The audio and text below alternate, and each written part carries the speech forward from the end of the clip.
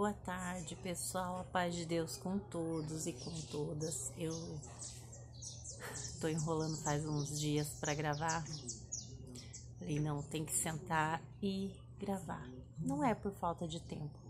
É porque a gente prioriza eu, né, priorizo às vezes outra co outras coisas, outras, né, outros afazeres e acabo deixando para depois e às vezes não também a correria do dia a dia.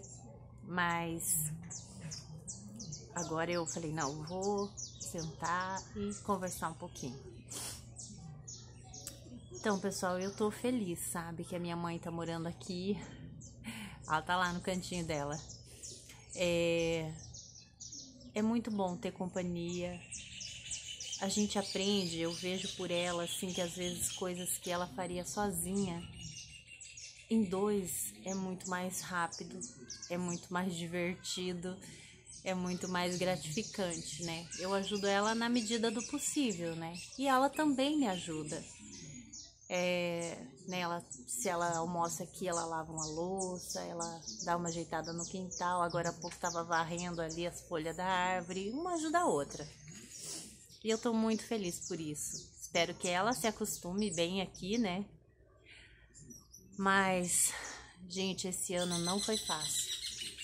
Não foi fácil. Para mim não foi fácil, né? Apesar de sempre eu falo que a gente tem que mais que agradecer do que reclamar, a gente tem que evitar reclamar. Mas esse ano, gente do céu, correria, trabalho, dívida, muitas coisas, né? Eu não sou a única, né? Passar por isso, lógico.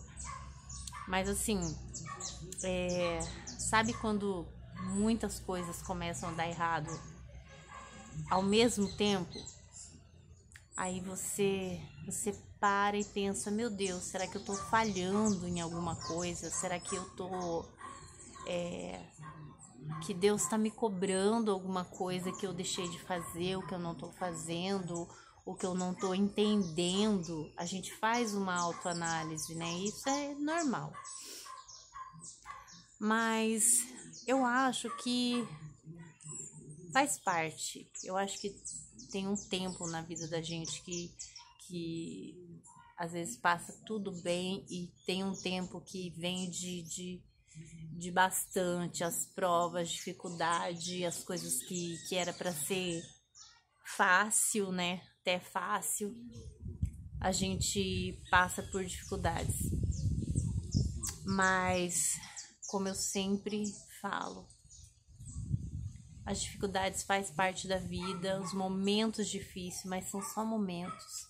A gente tem sempre que agradecer, a gente tem sempre que olhar para o céu e agradecer por tudo que você já passou, por tudo que você conquistou, pelas lutas que você venceu e olhar para os problemas e saber que todo problema tem solução, tudo na nossa vida tem solução. E lógico, a gente tem que pedir muito a Deus sabedoria, porque às vezes tem coisas que somos nós mesmos que pegamos com as nossas mãos, né? Problemas que nós mesmos entramos por falta de sabedoria, por falta de entendimento. Normal, né? Às vezes a gente só aprende com os nossos próprios erros, né? É, mas várias coisas, sabe? Esse ano foi, foi complicado, meu Deus do céu.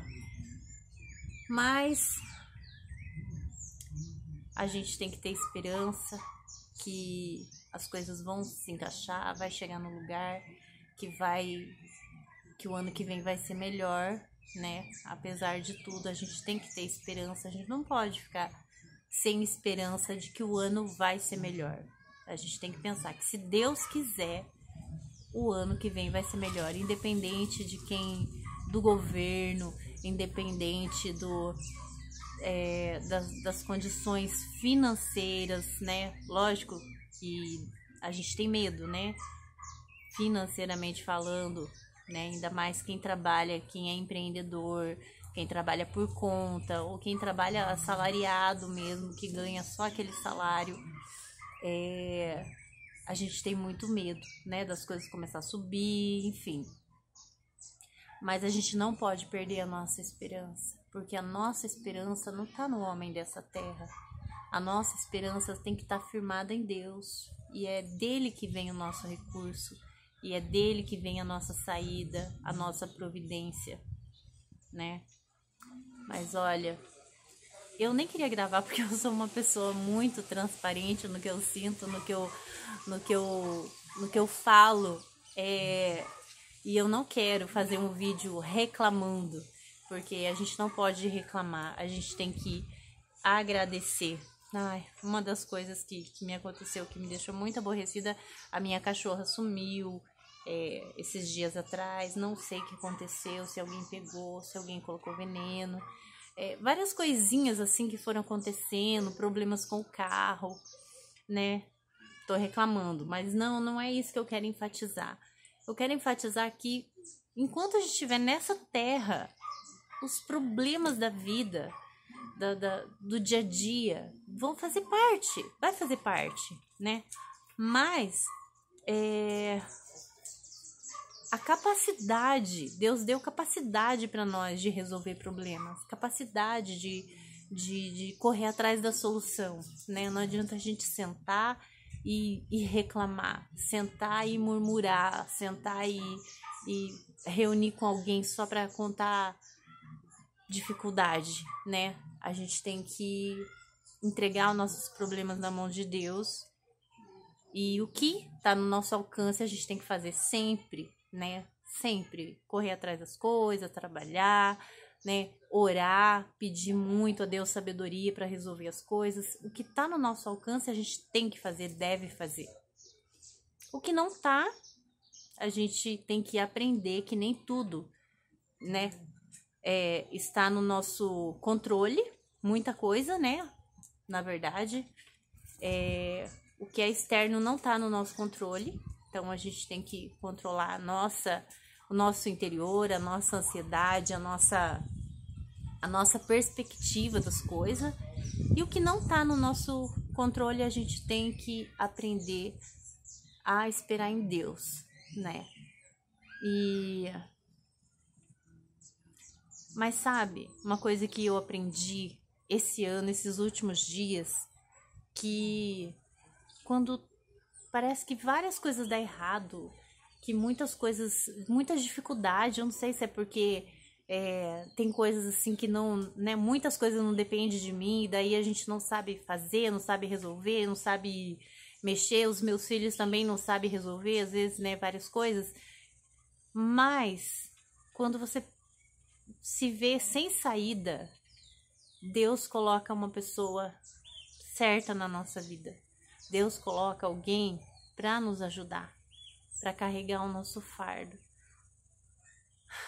Daí você vê que você, que Deus nunca te desamparou, que nunca você está sozinha. Você não está sozinha. Quando você menos perceber, você Deus vai colocar alguém na, na tua vida, e Deus colocou alguém na minha vida é, nesse momento para me ajudar a resolver, às vezes, pequenos problemas, mas que para mim, para os meus filhos, não, não tinha condição, eu não tinha condição. Mas Deus dá uma saída. Deus dá uma saída. E às vezes parece que a gente vai não não não vai conseguir sair dos problemas, são vários problemas, mas Deus dá saída para todos eles. Então é isso que eu queria falar. E desejar a todos um feliz ano novo, que Deus abençoe a todos, Deus abençoe, né, pelo, pelas mensagens de carinho, eu fico tão feliz de, de ler as mensagens, fico muito feliz mesmo, fico, é gratificante para mim. E peço de vós as vossas orações, eu sempre oro por todos, né, e vamos pedir muito a Deus que o próximo ano, que Deus este, continue no controle de tudo, né? E que a gente consiga superar, que embora né, venha o que vier, né, para o próximo ano, que nós possamos é, ter sabedoria para poder enfrentar as nossas lutas. A gente não pode pedir a Deus que a gente não quer lutas, que a gente não quer passar prova. A gente tem que pedir a Deus força, fé e sabedoria para poder enfrentar as nossas lutas que a gente tiver que enfrentar. Porque enquanto a gente estiver nessa carne, nessa terra, a gente vai enfrentar sim dificuldade. Faz parte dessa vida terrena, né? Mas a gente sabe também que um dia tudo isso acaba e aquele que permanecer fiel até o fim, nos princípios de Deus, no propósito que Deus né, colocou no coração de cada um e no, no que Deus determinou para cada um, se a gente ficar firme na doutrina, na, no entendimento que Deus tem dado, né? Não tô falando de igreja, mas assim, se a gente buscar Deus de coração, Deus conhece o nosso coração e ele vai nos guiar até o fim até o fim da nossa jornada nessa terra. Então é isso. É isso que eu desejo para vocês. Desejo tudo de bom. Desejo que Deus abençoe materialmente, espiritualmente, fisicamente, na saúde, em tudo.